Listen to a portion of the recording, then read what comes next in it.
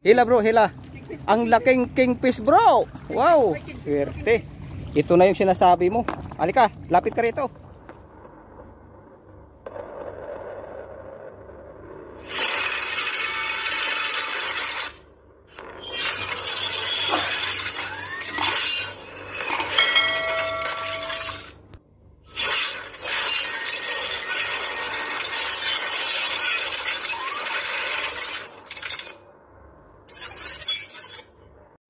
Ayan mga master.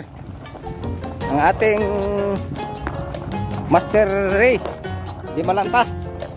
Randy Di Malanta kinagatan ng napakalaki. Mga master dito sa dulong-dulo. Unang hagis mga master.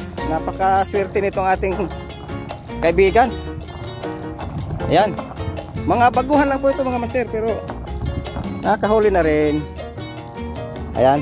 Binibidyo natin at para mai-upload natin sa ating YouTube channel. Bro, wag mong isabit sa bato. Sige na. Sige. Hila lang, bro. Sige. Hila, bro. Hila. Ang laking kingfish, bro. Wow. Swerte. Ito na yung sinasabi mo. Halika, lapit ka rito. Ayan. Nadali.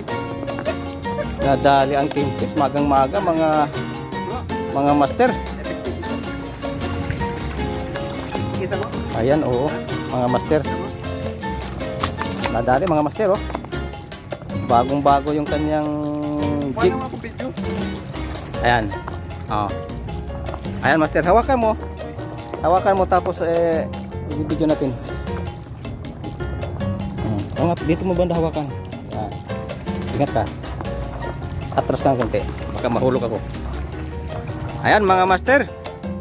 Nadali ni Randy Ray Di Malanta Magtuto ang isang napakalaking Salamat po. Ama sa biyaya sa umaga nito. Ayan. Queen fish master. Mga apat na kilo, hindi pa baba, lima. Yan. Nadali niya, oh. Magang-maga mga master. Bagong dating pa lang rito. Pangalawang hagis yata, unang hagis. tatlong hangin. Pangatlong hagis mga master. Nadali agad, oh. Dito sa dulo ng Banana Island. Shout out mga Pujera Anglers. Ito si Ray. Ayan. Napakaswerte mga master. Ayan na. Ayan na. Ayan na. Binit-bit na mga master. Okay. Ito na po ating kaibigan. Maswerte. Ayan po. Salamat po sa inyong mga.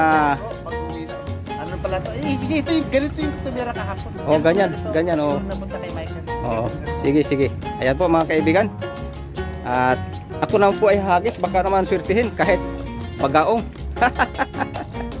Tara.